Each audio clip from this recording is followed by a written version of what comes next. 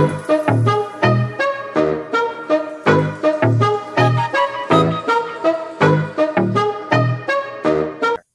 we're gonna just dive right in and talk about my beloved and Rudy's beloved New York Yankees and what the fuck is going on in the Bronx.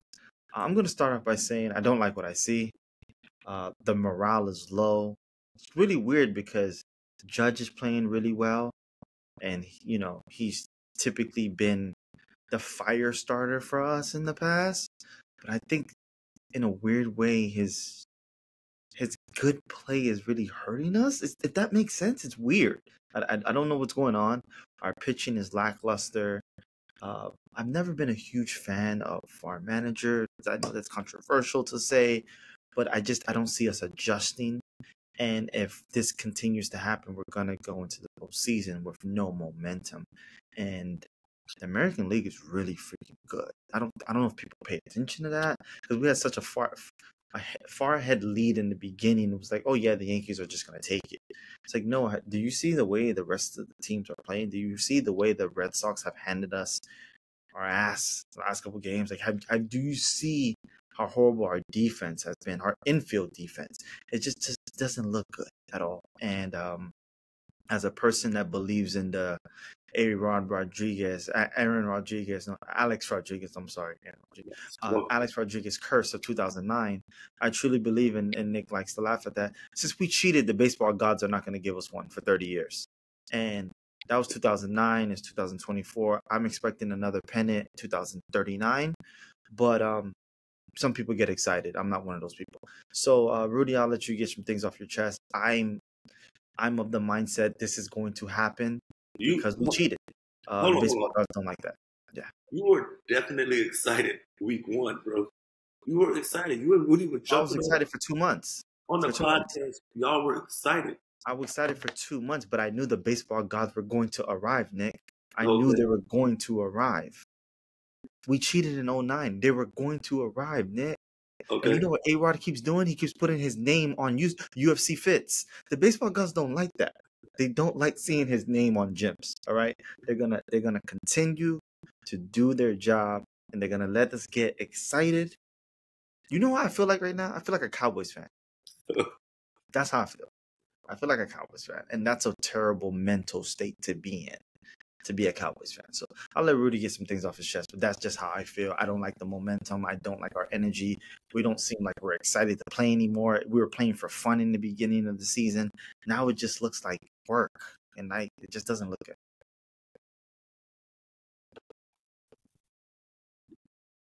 So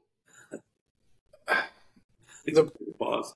The Yankees are seven and the Yankees just won. Thankfully, they they just won two to one tonight in Tampa. Thank God because yesterday they lost 5-3. They have their pitching was fantastic in April and May.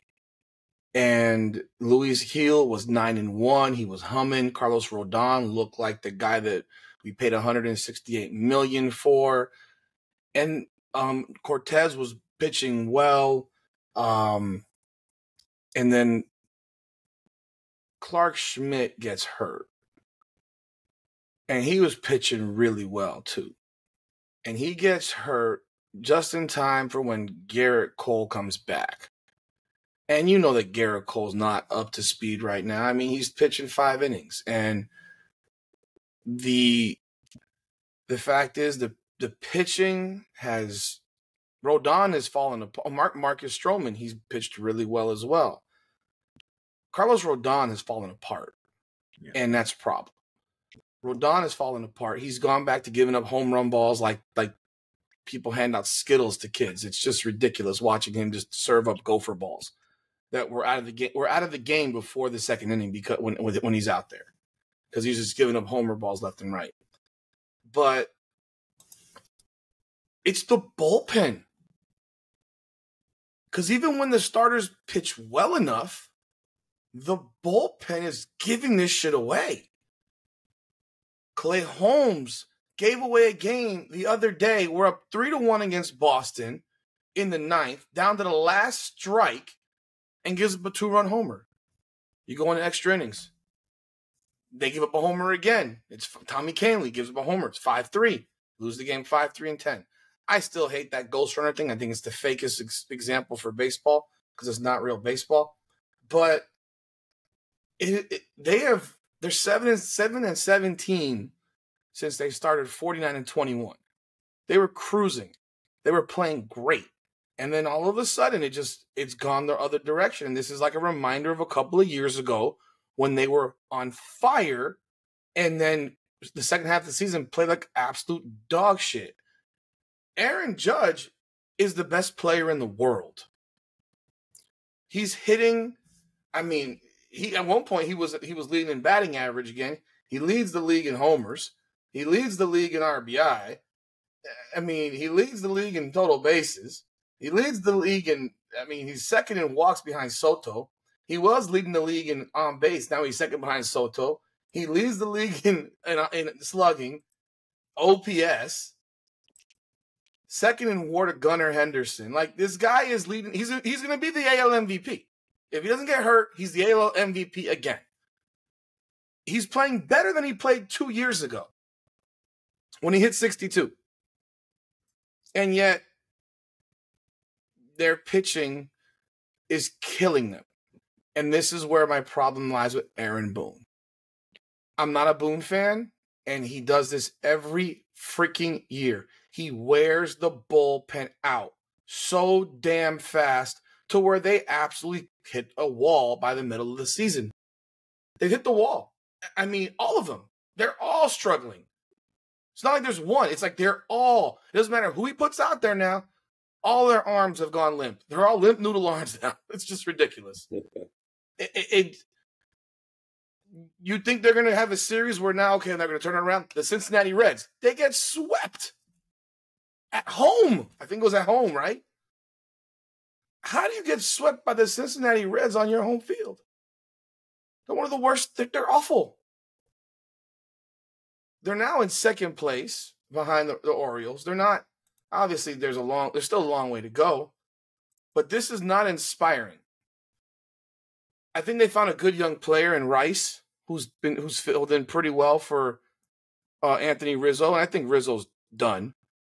Um, Giancarlo Stanton, his injury sucked because he was actually playing well well to the standard of which I would call well for him. He's still hitting 245, but if you think about it, last year he was hitting 170. Exactly. You know, him hitting 245 is a win. And he had like 17 homers. He's hitting the ball. But last year he's hitting 170. Like when you got a guy hitting 170 to 245, I'll take 245 all day.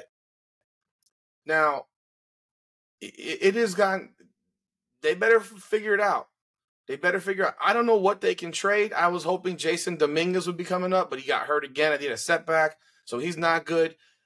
The Yankees have four nine hole hitters in their lineup right now. Four. And Boone is doing that shit where he's messing with the lineups all over again. We were playing fine with Anthony Volpe leading off. Now Volpe's batting average has come back to earth a little. He's in, when he was hitting 275, 285, we were cruising. He's on base. He's a table setter, and Soto and Judge have guys to to move over and put and drive in. Soto's been fantastic as well. He's been absolutely. He changed the way the team played early on this season. He was really a, a inspiring for these guys. DJ LeMahieu comes back and Oswaldo Cabrera stops playing. I hate that. I don't know why. Gleyber Torres hitting 225, still loafing to first, still botching plays in the field. Have we not figured out by now that Gleyber Torres is not the answer? Yeah. At this, I mean, at what point do we do we cut ties with Gleyber Torres?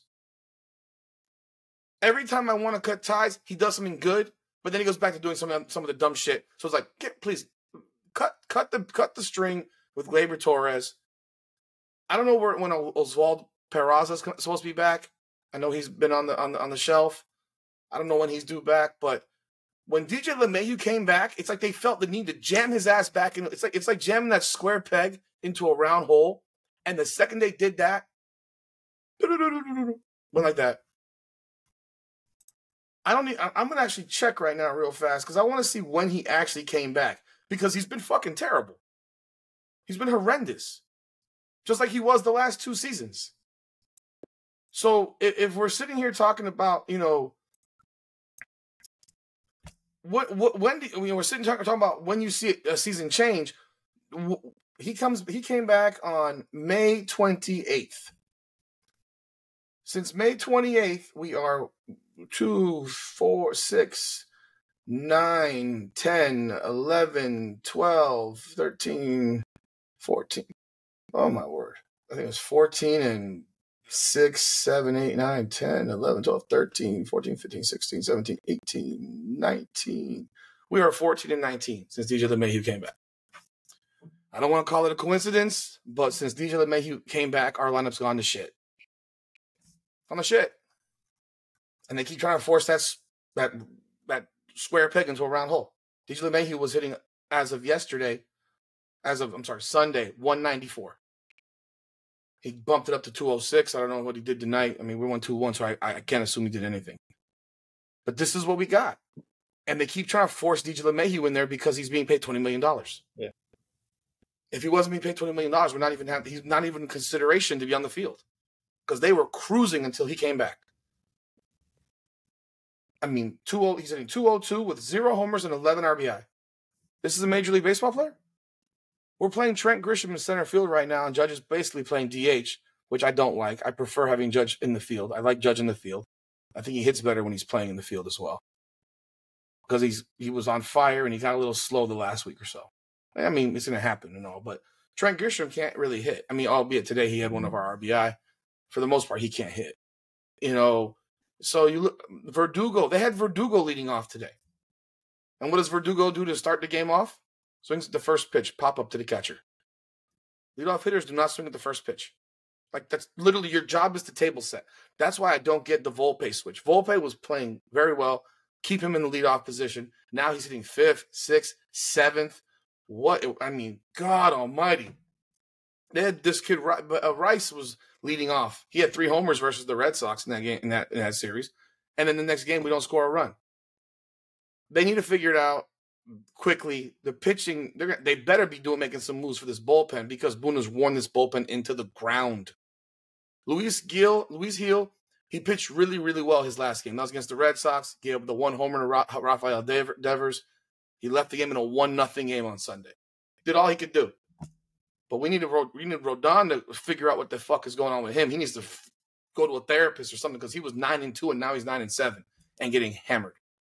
So yeah, very disappointing, very concerning. And I and I don't like overreacting, and I didn't for the first week or so, but now we're talking about a month. no, for the Yankees, I don't. It's long. Baseball's a long ass season. I don't overreact in baseball. In baseball, I don't overreact because it's a long season. Aaron Judge, Don, I'm in Facebook groups. Yankees fans, I had to leave the Facebook group because these imbeciles were talking about we need to trade Aaron Judge, cut Aaron Judge because he was hitting 170 in April. It's like are you stupid? That's but this is the type of thing that exists with Yankees fans. Yeah. Cut Aaron Judge, and it wasn't just the some; it was a lot of people. The worst contract ever. You know what? He's having a better season right now than he had two years ago when he earned that contract. I don't want to hear that shit. But they were ready to trade him, and he and since then he's hitting 390 in May and June, he hit 390. Like, what are we talking about? With a 730 slugging, some shit like that. Something he had he had ridiculous numbers. And then so with baseball, I don't overreact because it's a it's a much longer season. But when you talk about a month where you're playing like complete and utter horseshit as a team, it's concerning. And it always always go it always ends up back with Aaron Boone and his absolute it's it's shocking to get an entire segment where Nick doesn't say anything. I kind of enjoyed it I kind of enjoyed it. I'm not gonna lie. Um, us winners over here with 27 chips, we get a chance to you know go back and forth and talk our shit. But um, as we uh, segue off our beloved New York Yankees.